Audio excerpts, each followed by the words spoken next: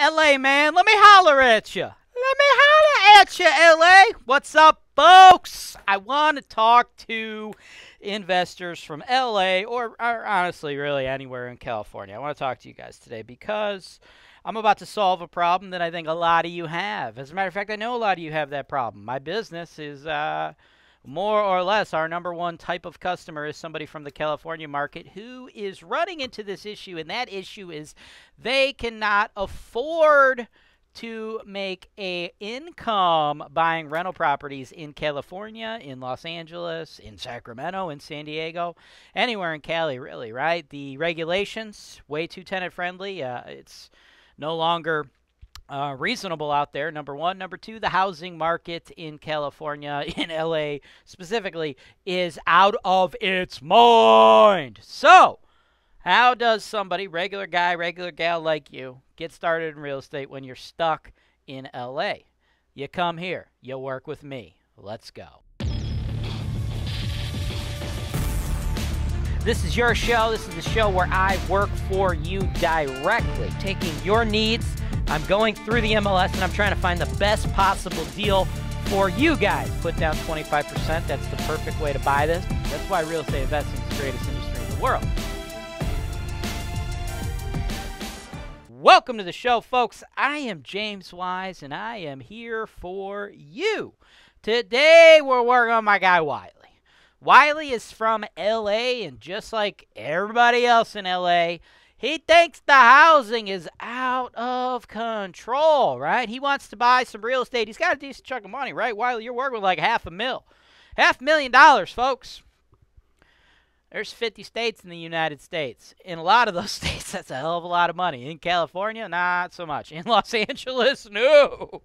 No, 500K don't get you shit in Los Angeles, but it does get you stuff in other markets. So that's what I do. I help people like you, Wiley, find investment properties that are affordable, find investment properties in markets that have reasonable landlord tenant laws, and then my team manages them. I've done over $200 million in sales, brother. I know what I'm doing. And today, ooh, I got a treat for you today, bro.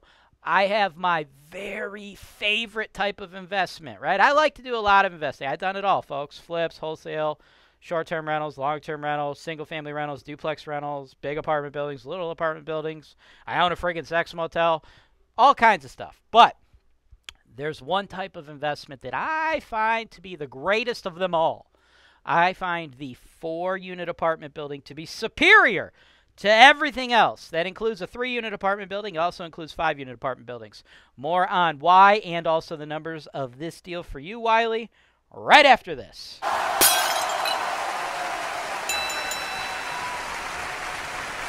Welcome back. Now we get into the meat and taters. Woo! Meat and taters. Man, the potato is one a versatile food, man. You got french fries, baked potatoes, mashed potatoes, scallop potatoes, some little cheesy potatoes, hash browns. Can't forget about hash browns, man. I love me some potatoes. Show us nothing to do with potatoes, though. Get back to the game, folks. Focus on real estate. Real estate, not potatoes. Home fries, damn. Anyway, 1376 West 91st, Cleveland 44102. This is a beauty. Now, says 50 days on the market. That is misleading. It was on the market and then it fell out, uh, uh, it, it went off the market and then it went under contract and fell out of contract. That's what I was trying to say, right? Seller took it off the market because they were going to sell it to a buyer. Buyer flaked, I guess, I don't know, financing, some issue like that. I don't know. Uh, it's back. It's ready to go. So don't think that it's been on the market 50 days because ain't nobody going to buy it because this is a smoking deal. You got to do a little work, uh, have some things go your way to get really good numbers on this, but this is a friggin' awesome deal, okay? It's four unit apartment building, number one, okay? That is, folks, my favorite type of investment of all time, right? Just cruising through this here.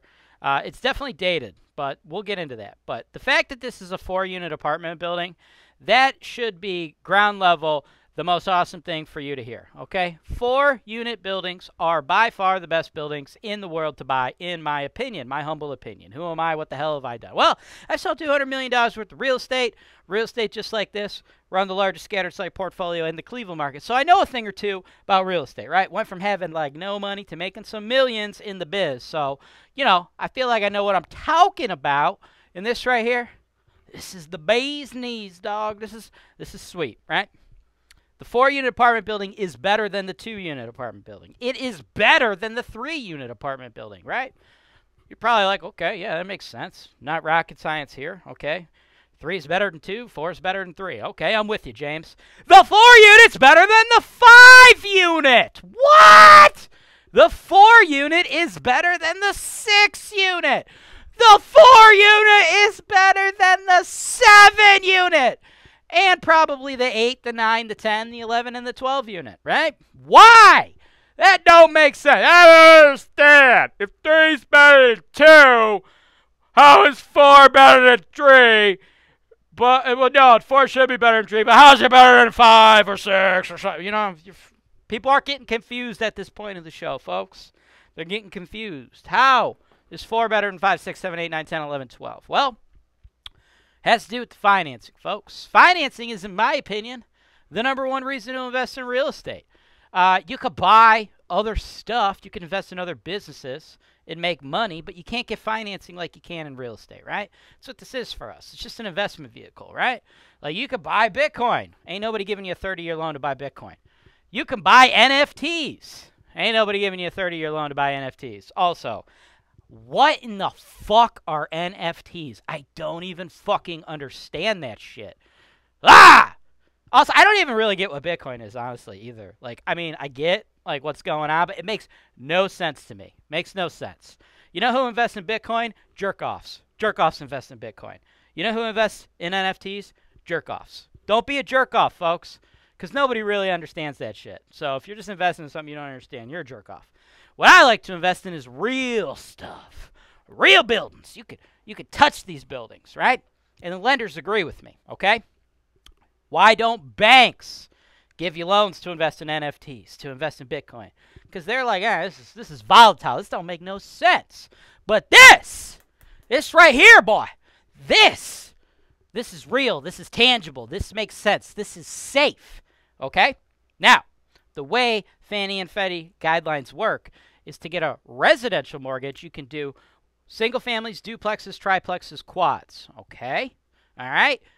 Those are the best loans. 30 year, fixed interest, low interest, tax deductible, only going to need 25% down. Okay? Those are the best loans. The biggest property you could ever get is going to be a four unit apartment building, though. Once you get into 5, 6, 7, 8, 9, 10, 11, 12, and so forth, you now have to get a commercial loan. Not the end of the world, but you can't get 30 year terms. Commercial loans are nowhere near 30 year terms. They're usually like 25 AM, 5 year call, 10 year call, 15 year call, and don't think you're getting into them with 25% down in 2022. Not the way the market works. Prices are too inflated on apartment buildings right now. So that is not going to help. So, with the four unit, you get the very best financing in the world and Four happens to be the most amount of rent you can get with those 30 year loans. That, folks, is why I love, love, love, love the four unit apartment building over any other building. And also the fact that it makes some sense is why I love it over other investment vehicles such as Bitcoin, NFTs, the, me- the metaverse. Shit. What the hell's the metaverse, y'all? I don't even. I don't even know. Okay, so that that's what I love about the building. As you see, it was dated. Okay, here's the story owner occupied, right? Believe it or not, some people actually live in houses, right? Some people buy houses to live in. They don't just buy them for monetary investment like we do, okay? So, this has got a long time owner occupant living in this unit and then he's just renting stuff super cheap to people for like the last 20 years. 550, 475, 375. This is our opportunity to pick up a hell of a deal because this is in one of the most poppin' neighborhoods in the Cleveland market, folks. This is right here near the lake in Edgewater, okay? This is a super trendy neighborhood, you're right? You are right smack dab in the middle. Detroit Shoreway, Edgewater, this quad, Lake Erie. When you hear about the resurgence in Cleveland, when you hear about gentrification in Cleveland, when you hear about a lot of money getting pumped into this market, okay, it's the big popular cities. It's your Ohio cities. Well, not popular cities, popular neighborhoods. It's your Ohio cities. Over here, a little bit more is Tremont. It's downtown, okay? It's Detroit Shoreway. It's Edgewater. We're right friggin' there, people. This is where we want to be, and we will be rewarded for that, okay? Because the market rents on this, this is not a professional landlord. This is someone who lives there and it's just been renting stuff for 20 years. The way to do this, actually get market rent on all these units, we're looking at 900 a unit, folks. 3600 comes in, 43,200 for the year. Of that 43,200 for the year, my team, we will professionally manage it. Here is all your fixed and variable expense estimates. After all is said and done, you should be walking away clear with almost 25k for the year. Now as far as price, again, don't be confused thinking that there's not a lot of demand for this because of the long days on the market. The thing just fell out of contract. We got to go full price. You got to take this down. Whenever there's a quad, got to take it down. Whenever there's a quad in such a good neighborhood, got to take it down. Whenever there's a quad in a neighborhood where you have the ability to push everything up, got to take it down. 275, okay? Then we get that beautiful 30-year loan I kept talking to you about. All you got to do is put down 68 750, bank kicks in the rest, get all those tenants up to market rent without a turnover. You're looking at a long-term cash on cash return of 20%. Now, can you get those super long-term uh, low rent tenants up to 900? Maybe, maybe not. Uh, what you don't want to do is immediately change the rent to 900 because you probably get more uh, than what you need to moving out. Right? You're gonna get, you're gonna get in this business. You're gonna get turnover. It's part of the game. It happens. No way to avoid turnover. You're going to get turnover as a real, uh, real estate investor. You're going to get turnover as a landlord. What you don't want is to create artificial turnover, which requires you to pay money out of your pocket. So what I like to do is I like to slowly increase their rents, try to get them to stay as long as possible to get as close to market rent, let the, the neighborhood draw them in. And then if they move out, then we go in, we'll give you a bid to renovate the units, right? Those units were pretty dated, so we're probably looking at over five grand per unit at least. Uh, but we'll have to go through that when the tenants actually move out. But long term, this one is a smoking deal.